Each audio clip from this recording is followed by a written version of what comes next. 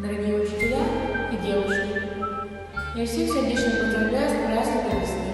Желаю, чтобы весна подарила радость, любовь, хорошее настроение. И сейчас я вам сыграю ночную композицию композитора Шицай.